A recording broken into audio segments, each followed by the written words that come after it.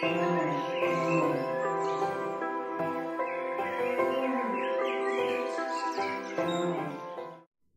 up? This is July. Today I'm going to show you how to do 808 slides. So we're going to start with the NNXT.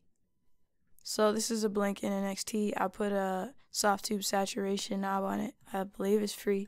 The VST version or the rack extension version, either one is free. So I'm going to start with the 808. The original Spinz 808. And it sounds like this.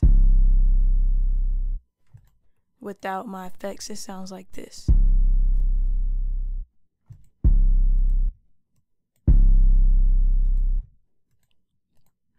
Alright, so if you notice, if you press two keys on the while you're playing the NNXT, it'll just play both of them at the same time, and that's not how you want it to slide because it's not a slide. So what you want to do is go to this key poly, bring it down to one. That way you can only play one key at a time. It's monophonic, no longer polyphonic. So after that, you're going to go group mono, just so that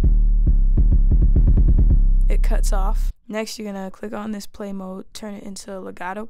That way this portamento will work. And portamento is mangleable by taste.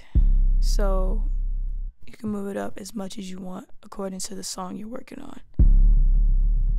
Now sliding.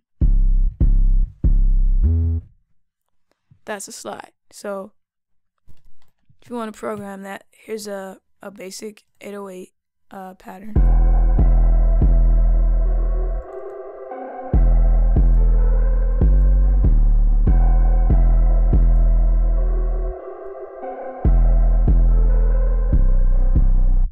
So that's the pattern. So I'm going to start programming my slides.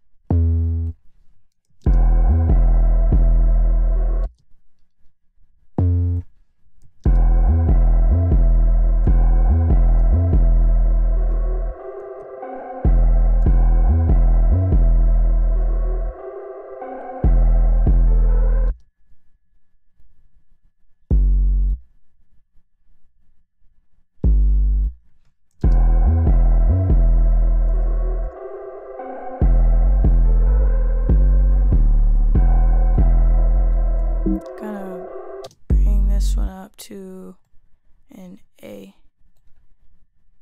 Make it longer. Bring this up to a B. And then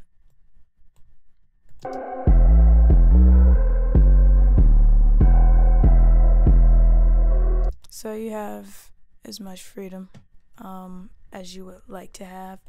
It's definitely not like any other DAW.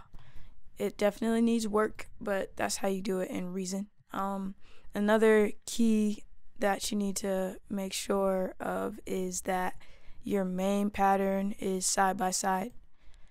Also, if your 808 is too short, um, the glide won't work. So, for example, with this note right here, if I wanted it to glide over here,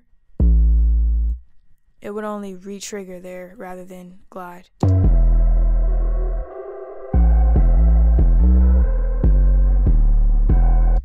Because in this case, the audio or the 808 is too short and it didn't last that long. So instead of sliding, like I said, it just re-triggered. So that's how you do 808 slides. Like, comment, subscribe. Let me know what you would like to see next. Thanks, guys.